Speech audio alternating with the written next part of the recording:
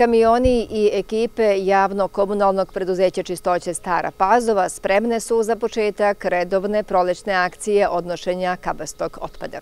Velika je potreba za ovom akcijom, kažu u čistoći, gde je već mnogo građana zvalo i interesovalo se za datume održavanja, jer se nakon prolečnog sređivanja kuća uvek nađu nepotrebne stvari.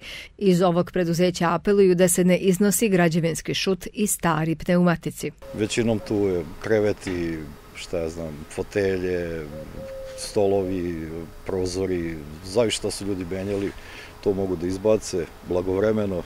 Jedino bi apelovao da se to već izbaciva danas u toku dana ili subotom u ranim jutarnjim satima, da bi mi išli stoći to mogli blagovremeno da je iznesemo.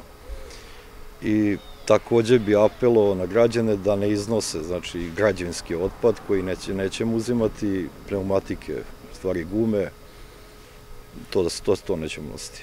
Prošle godine su samo iz Nove Pazove izneli 54 kamiona velikog otpada, tako da i sad očekuju veliki odziv i mnogo posla za devet ekipa koje će već od 7 sati biti raspoređene u Novoj Pazovi, Vojki i Krnjaševcima. Biće veliki kamiona kipera, imat ćemo i radnu mašinu Ulta koji će morati da ubaci u te kipere to smeće.